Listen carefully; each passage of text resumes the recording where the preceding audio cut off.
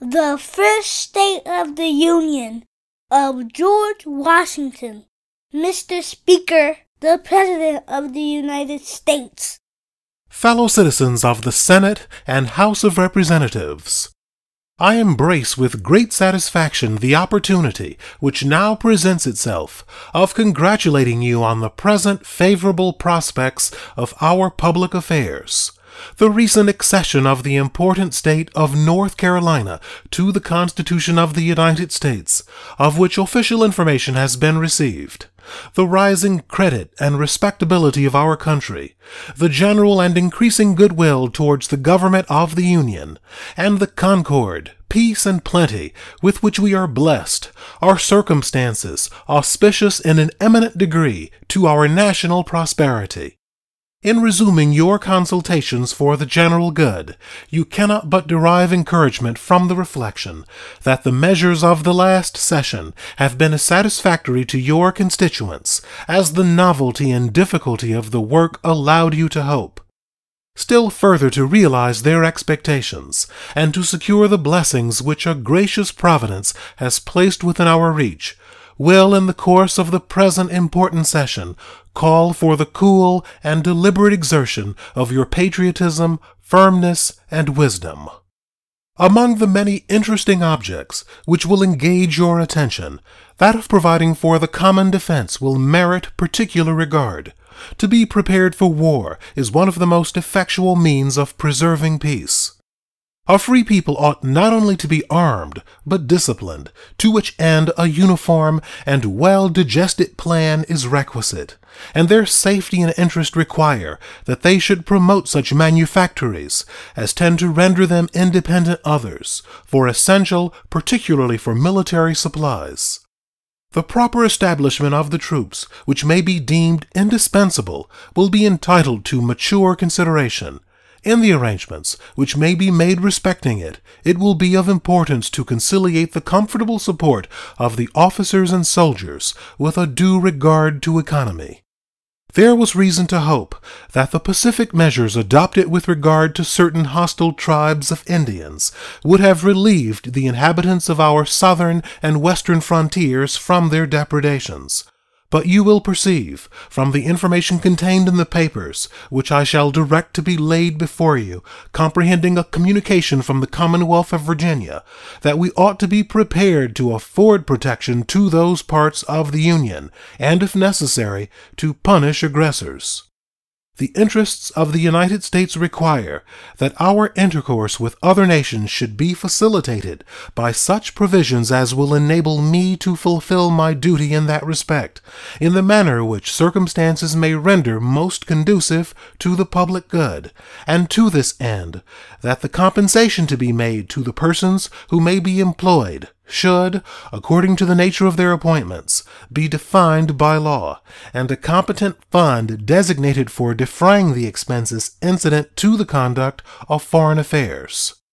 Various considerations also render it expedient that the terms on which foreigners may be admitted to the rights of citizens should be speedily ascertained by a uniform rule of naturalization.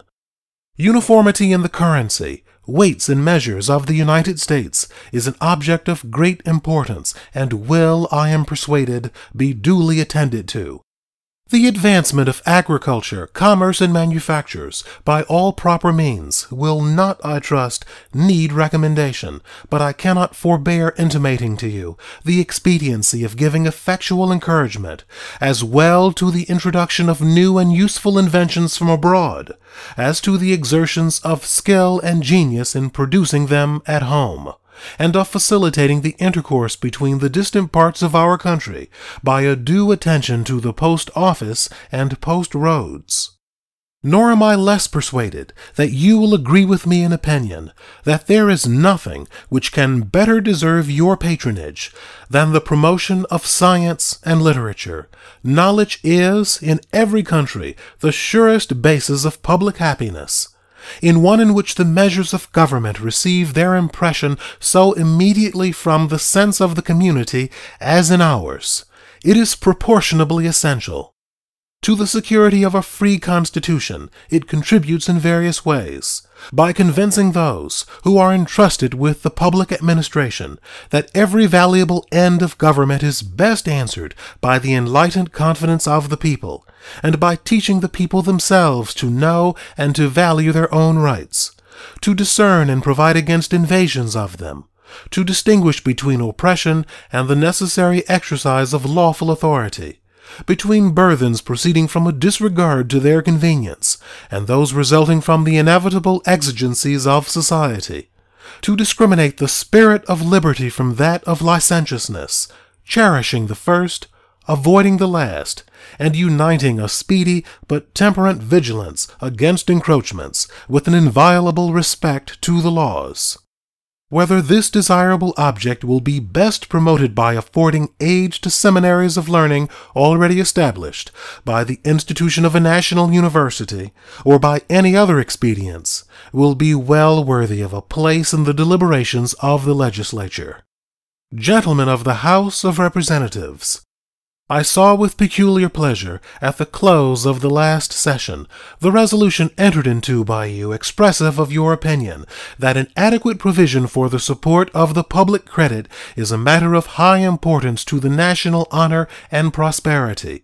In this sentiment I entirely concur, and to a perfect confidence in your best endeavors to devise such a provision as will be truly consistent with the end, I add an equal reliance on the cheerful cooperation of the other branch of the legislature